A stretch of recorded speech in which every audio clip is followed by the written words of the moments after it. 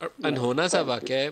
थोड़ा सा उसको रिपोर्ट करने से पहले सोचा गुरेज करें, लेकिन दो वाक़ात हो गए। एक मदरसे में, जहाँ जहाँ वो अज़ीज़ साहब गिरफ़्तार हैं, वो जुर्म उनका बड़ा सख्त है कि एक बच्चे से ज़्यादा की।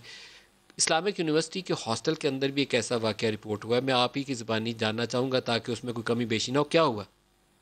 ये जो है मलिक साहब दिस इज़ रियली अनफॉर्चुनेट बहुत ही वो है यानी अफसोसनाक वाक़ है। लेकिन आजकल यानी सबसे ज़्यादा जो जो जो जो खतरनाक बात है वो ये कि सोशल मीडिया के ऊपर या इंस्टाग्राम के ऊपर लोग इस तरह फ्रेंडशिप्स जो हैं वो बना लेते हैं।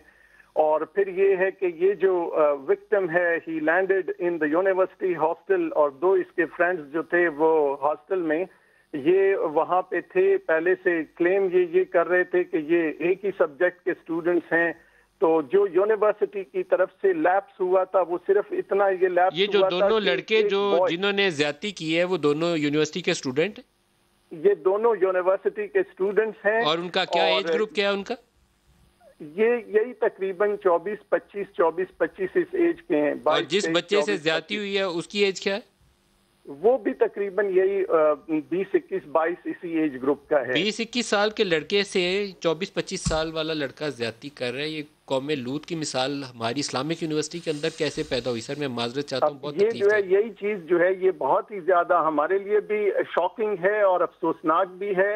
लेकिन इस चीज़ का फ़ायदा उन्होंने इस तरह ये उठाया है कि आजकल ये कोविड की वजह से चूँकि स्टूडेंट्स एग्ज़ाम के लिए एक साथ वो सारे के सारे वो आ गए तो जो ये ये लड़का जो बाहर से ये somehow he landed in the hostel और उस कमरे तक वो पहुँच गया और इनकी आपस में वो जो थी, वो थी और ये अनफॉर्चुनेट जो वाक्य है, ये हुआ है। लेकिन ये है कि ये देखना है कि अब ये सोशल मीडिया के ऊपर एक तूफ़ान बर्पा कर लेते हैं कि यूनिवर्सिटी हाइड कर रही यूनिवर्सिटी कोई चीज़ हाइड नहीं कर रही। यूनिवर्सिटी ने फॉरन जब स्टूडेंट जब इस विक्टिम ने दो लड़कों को आइडेंटिफाई किया उसी वक्त उन लड़कों के ऊपर जो डिसिप्लिन कमेटी है स्टूडेंट डिसिप्लिन कमेटी बिठाई गई उन्होंने इनको जो है रस्टिकेट कर लिया।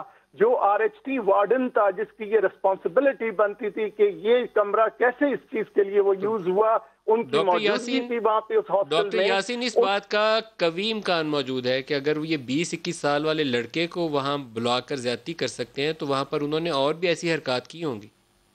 इस इस इस बात से कोई वो जो है वो चूँकि unfortunately you never come to know about such incidents के जब ये आपस में तय आपस में कर लेते हैं तो इस तरह की वो जो है वो हो जाती है। लेकिन यूनिवर्सिटी ने अपने तौर पर जो भी मुमकिन स्टेप्स थे वो तमाम सवाल है डॉक्टर साहब आपसे। आपको डॉक्टर यासिन जई साहब को as rector International Islamic University freak बनते हुए इन दोनों लड़कों के खिलाफ एफआईआर दर्ज करवाकर केस परसू करना चाहिए।